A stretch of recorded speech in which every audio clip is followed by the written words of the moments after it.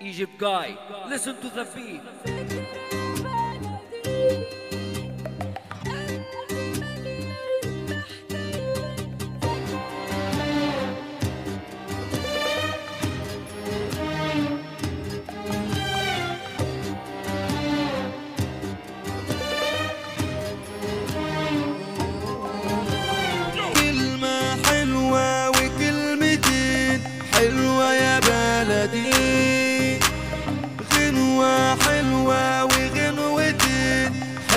يا بلدي.